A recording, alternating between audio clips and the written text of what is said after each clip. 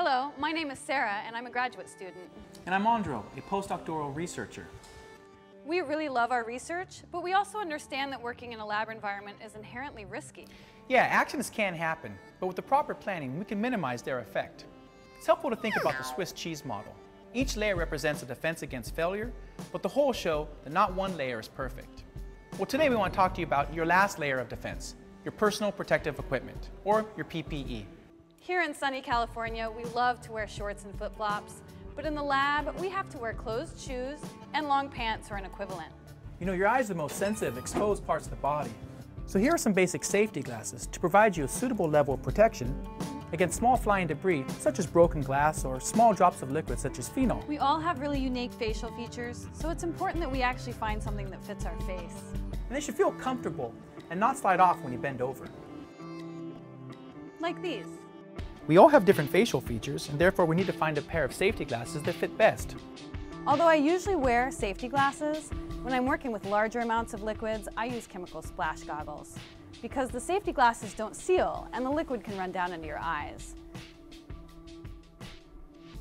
I also wear chemical splash goggles when I work with small amounts of really dangerous liquids, like concentrated solutions or corrosives like phenol. And if you're working with chemicals or reactions that can burn, explode, or implode, then you should add a face shield, such as I do, when I work with potentially dangerous reactions.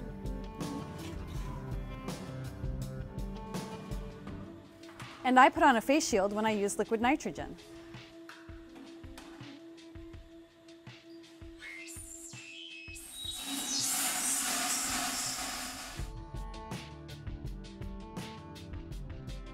And make sure you clean your face shield after every use so it's ready for the next person. It's important to keep your glasses clean and check them regularly for damage. Specialized work with UV lamps or lasers requires specific glasses designed to protect you from certain wavelengths of light.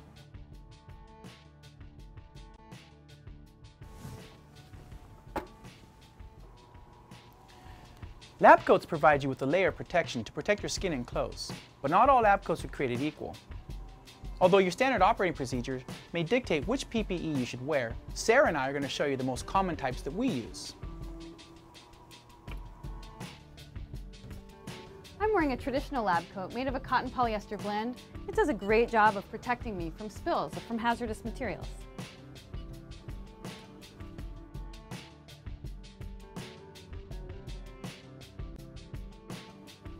Sometimes I need to work with samples that contain bloodborne pathogens. In that situation, I wear a barrier lab coat. It's made of a material that helps repel liquids. When I work with large amounts of flammables or pyrophoric materials, I use this flame-resistant lab coat. It's made out of a similar material that firefighters wear. It will not catch fire. Ooh, let me try. The lab environment is not the place to play around. Let's do a safer demonstration. See, I knew it wouldn't light on fire. And as an extra precaution, I avoid wearing clothes made of synthetic fibers underneath because synthetic fibers may actually melt to your skin in the event of a fire.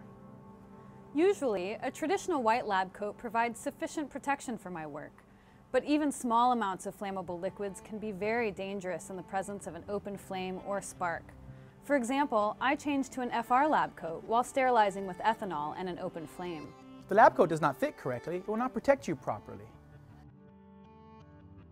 This one feels a little too tight and the sleeves are too short. Oh, I think it's a female cut. Sleeves should be at wrist length to protect exposed skin, but not too long. And don't roll them up, just get one that fits. That fits nicely. Dirty lab coats are laundered on each campus by a professional laundry service. Small splashes should first be blotted up in the lab.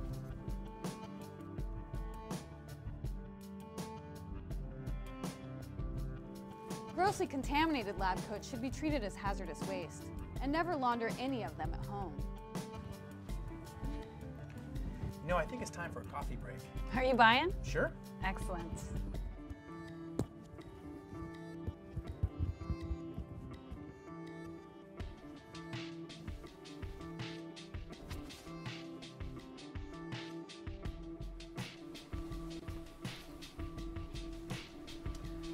Have a safe day.